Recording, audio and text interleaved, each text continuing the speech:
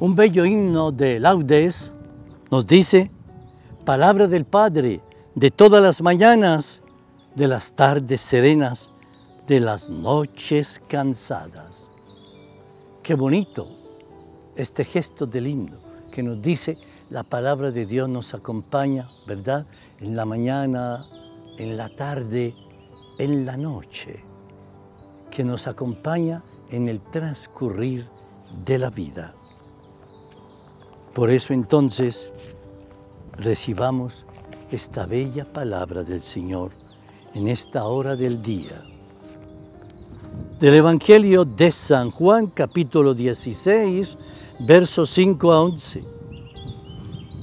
En aquel tiempo Jesús dijo a sus discípulos, me voy y voy al que me envió, y ninguno de ustedes me pregunta, ¿a dónde vas? Es que su corazón se ha llenado de tristeza porque les he dicho estas cosas. Sin embargo, es cierto lo que les digo, les conviene que yo me vaya, porque si no me voy, no vendrá a ustedes el consolador. En cambio, si me voy, yo se lo enviaré. Y cuando Él venga, establecerá la culpabilidad del mundo en materia de pecado, de justicia y de juicio.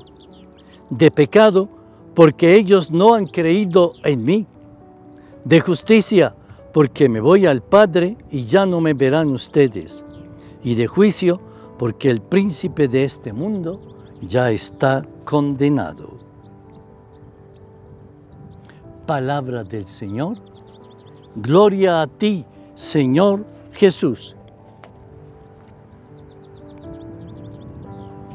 Está clarísimo. El príncipe de este mundo, Satán, y su secuela del mal, ya está condenado. O sea que por Cristo nosotros podemos cantar la gloria de Dios venciendo al maligno y sus secuelas.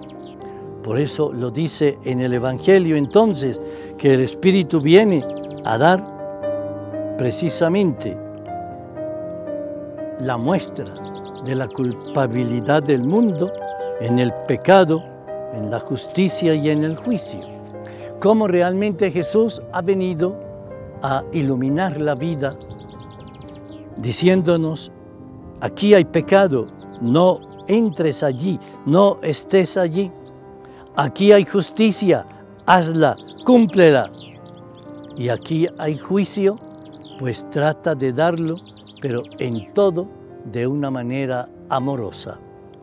Por eso el Señor nos va preparando para Pentecostés, porque quiere que nosotros, sí, recibamos el Espíritu Santo, para que Él nos ilumine, para que así como el sol ilumina y le da como un brillo especial y espectacular a toda la creación, Él también nos ilumine a nosotros, el Espíritu Santo, el Espíritu del Señor, y haga que nuestra vida brille, porque estamos sin pecado, estamos en la justicia y por lo tanto aceptamos el juicio de Dios con humildad, pero a la vez con serenidad, porque sabemos que es el encuentro de dos amores, Dios que me ama y yo que lo amo.